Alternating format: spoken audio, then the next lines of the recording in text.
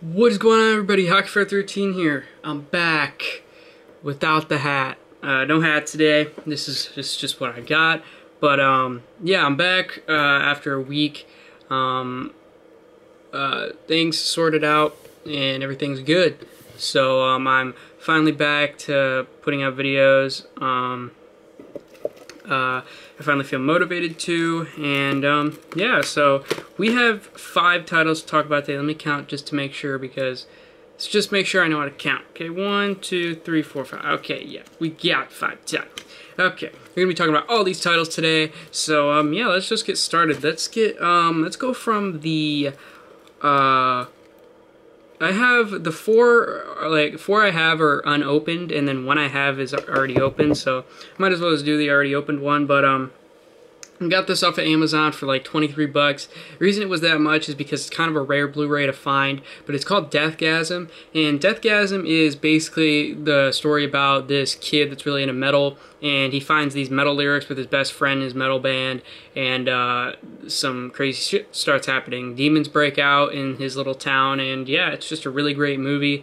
Um, I'm a huge fan of metal music, so this movie is kind of perfect for me. This is kind of the best metal movie in my opinion. I've seen it so many times. I love it every time.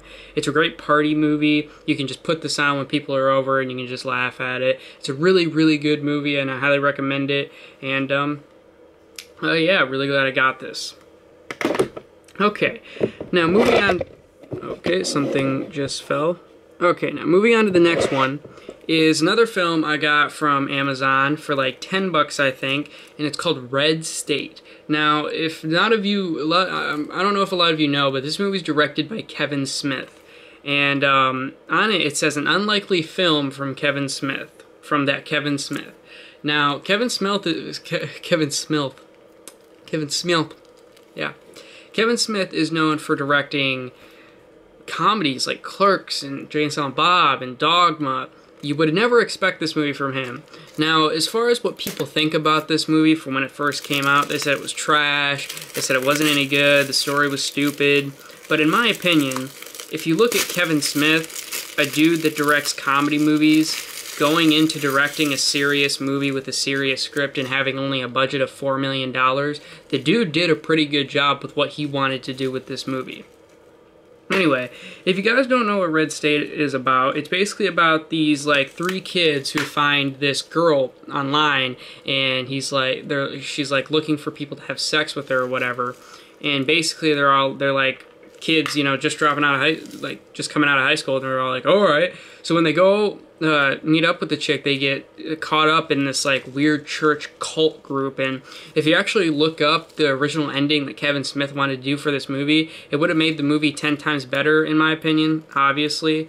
But he only had $4 million, and say he would have did that ending, it would have been the most money he's ever spent on any movie ever. So, yeah. But, you know, it has, you know, John Goodman in it, so, you know, and Quentin Tarantino says, I love this movie.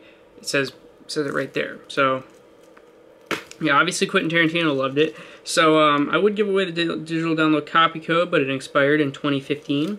So, um, yeah, I'm really kind of glad I got Red State because it's kind of a rare Blu-ray to find. I can't find it in local places. So, yeah, I'm glad I got it off Amazon for, like I said, 10 bucks. So, I'd, I'd recommend giving this a watch if you guys haven't seen it. And like I said, you guys probably don't know that this movie is directed by Kevin Smith. Okay, I have trash. I'll throw away later. Okay, now, two movies I got from the Dollar General. They're, uh, they were both $4.95, so I paid about 10 bucks for both of them. And uh, it's Under Siege 1 and 2. Now, the reason I got these is because uh, the Dollar General sells cheap movies, and they basically, you know, if you guys don't know what Under Siege is, I haven't seen either of them, but they have Steven Seagal in it, an old action star that's basically in like every movie nowadays. Like if you count how many movies Steven Seagal is in in like a year, he's in like he's probably in about like a hundred movies a year.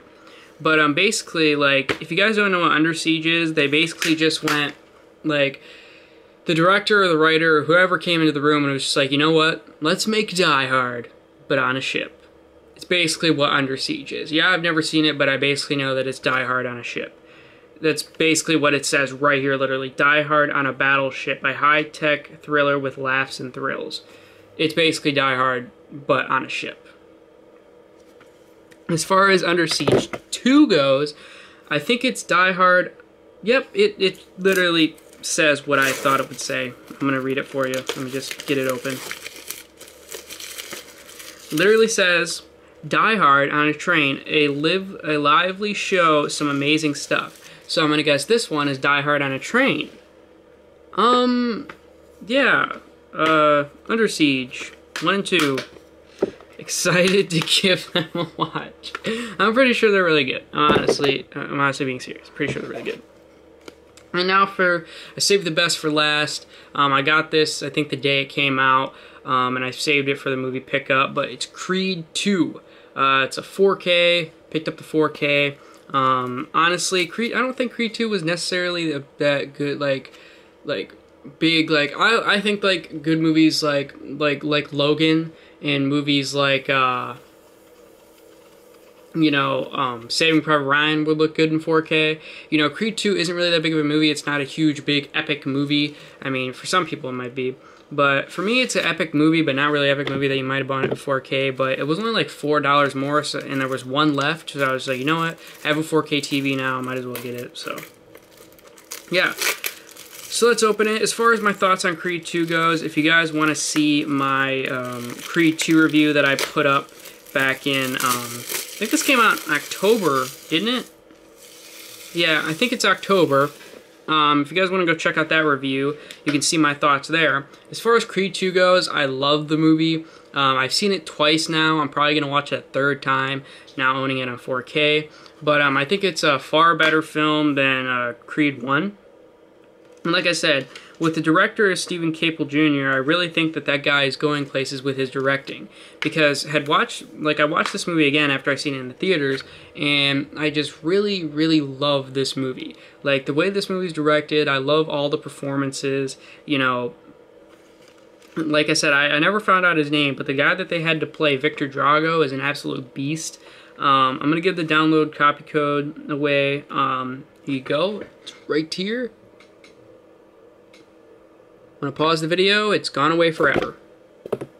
Okay, now, so yeah, Creed 2, it's absolutely phenomenal. You guys can go watch my review if you want to know my full in-depth thoughts on it. And um, yeah, it's Creed 2, amazing. Um, and uh, yeah, this is my movie pickup. I'm actually going up to disc replay today because I have some money. So um, be looking for, forward to another movie pickup. But as far as these five titles go, if you guys have seen any of them, let me know what you think of them in the comments below. Especially let me know what you think of Deathgasm. And let me know if any of you have seen Red State or what you if you have seen it, what you think of the movie.